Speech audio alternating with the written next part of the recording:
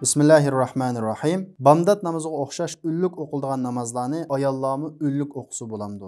Bamdad, sham va xuftamga o'xshash farzlarni ulluk o'qiydigan namozlarni ayollar atrofida nomahram ala bo'lmagan ahvol ostida ulluk ovozda qiraat qilib o'qisa bo'ladi. Ammo atrofida nomahram ala bo'lib qolsa, bunda holatda ulluk o'qisa bo'lmaydi. Ichida maxfiy o'qish kerak. Shofi mazhabidagi bir qarashda va Hanbali mazhabidagi bir rivoyatda ayollar har qanday ahvolda namozni past o'qiydi deyilgan. Shuning uchun bunda eng yaxshisi Mümin naməhrəm bolsun, bolmasın, ay Allahınınki namazını ikide pəs oxuşu yaxşı.